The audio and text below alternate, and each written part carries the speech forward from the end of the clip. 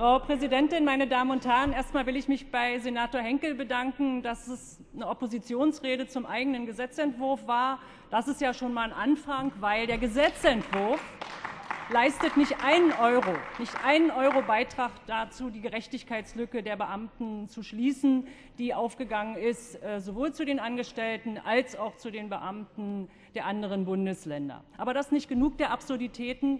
Dann erfahren wir heute im mündlichen Vortrag, dass die Koalitionsfraktionen da jetzt was raufpacken wollen. Also das finde ich schon im Umgang, also 116.000 Betroffenen zu sagen, ja, wir sind da in der Diskussion und äh, wir packen da 0,5 Prozent drauf und das ist doch ganz dufte. Also das finde ich ein bisschen schwierig. Also nicht mal einen Plan vorzulegen, geschweige denn also einen Antrag, wo die Finanzierung geklärt ist, sondern zu sagen, ach, wir sind da auf einem guten Weg. Und ich erinnere Sie noch mal daran, was Sie versprochen haben. Also die SPD hat versprochen, dass für die Beamten und auch die Pensionäre 2017, nämlich dann, wenn es für die Angestellten soweit sein wird, diese Gerechtigkeitslücke geschlossen werden soll. Und die CDU ist ja noch ein bisschen schärfer an dieser Sache äh, dabei, weil sie haben, als sie in der Opposition waren, über viele Jahre überhaupt die Zumutung des Solidarpakts abgelehnt. Sie haben gesagt, das kann man den Beschäftigten nicht zumuten. Ja, und dann, dann kam die CDU in die Regierung. Dann bekamen sie das Innenressort, ich muss das auch so passiv formulieren, und dann haben sie für die Besoldung, für die Besoldung der Beamten nichts getan, nichts, weder 2012 noch 2013 noch 2014. Und das finde ich schon bemerkenswert. Und ich glaube, das finden mit mir und mit meiner Fraktion auch sehr, sehr viele Beamte, die sich sicher waren, wenn man sogar gegen die Zumutung ist, dass man dann aber schnellstmöglich eine versprochene Gerechtigkeit wiederherstellt, nämlich nach dem Auslaufen des Solidarpaktes schnellstmöglich einen Plan vorzulegen, den zu finanzieren und auch umzusetzen, wie die Anpassung an den Bundestrend dann auch wirklich gelingt. Diese Erwartung gab es. Und ich sehe immer noch in die fassungslosen Gesichter vieler Beamter, dass das bis heute und auch mit dem Gesetzesentwurf nicht passiert. Also Ihre Perspektive ist jetzt 2029. Das will ich auch noch mal. Also aus dem mündlichen Vortrag habe ich jetzt herausgehört, 0,5 Prozent ab 2014.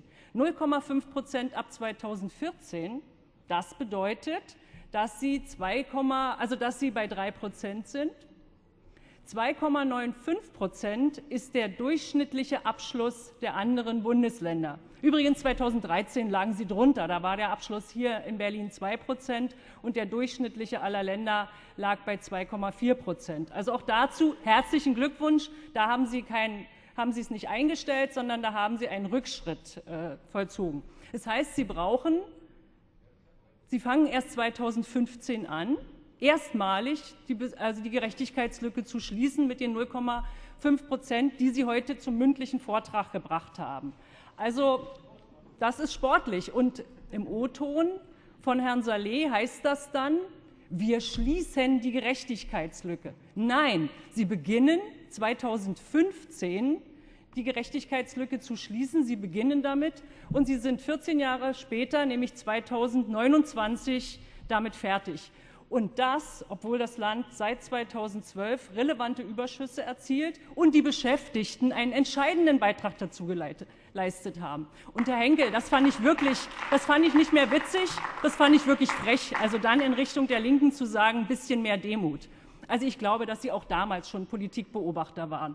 Und 1999, ja, das konzidiere ich, ja, ich bin mir sicher, er war dabei und er wird sich auch erinnern. Er will es vielleicht nicht. Aber 1999, ähm, da hatten wir Personalausgaben, die annähernd genauso hoch waren wie die Steuereinnahmen des Landes Berlin. Das heißt, Sie hatten zehn Jahre lang mit der SPD nicht eine einzige strukturelle Entscheidung getroffen, die dem Land irgendwie Handlungsspielraum und Konsolidierungsnotwendigkeiten auch umgesetzt hat und ermöglicht hat. Ja, und dann gab es den Solidarpakt, der notwendig war und den Beschäftigten ganz viel abverlangt hat. Ja, und das war eine notwendige Konsolidierungsmaßnahme, die Sie angespart haben, die Sie sich nicht getraut haben. So, dann sind Sie dazu in Opposition gegangen. Aber wenn Sie dann jetzt nach diesem Systemversagen nun erneut versagen, indem Sie trotz Steuereinnahmen Ihre Versprechen nicht umsetzen, dann finde ich das wirklich, wirklich problematisch. Und zum jetzigen Punkt ist es ja so. Ich will das gerne noch mal an zwei Zahlen machen, weil ich die eindrucksvoll finde. Die Beamten sind auch deshalb sauer und misstrauisch, weil sie auch heute hier keinen Plan vorlegen, der die Gerechtigkeitslücke beginnt zu schließen. Und ich sage Ihnen mal, was das ganz konkret bedeutet. Also im Eingangsamt A6, das sind in Berlin 1790 Euro, ist der Unterschied zu den Bundesbediensteten, und das soll ja das eine oder andere Bundesministerium hier in der Stadt schon geben, ist das eine Differenz von 317 Euro. Und im Endamt A13 ist die Differenz 656 Euro. Im Vergleich zu den Bundesbediensteten, das sind 13 Prozent. Herzlichen Glückwunsch, haben Sie super hingekriegt.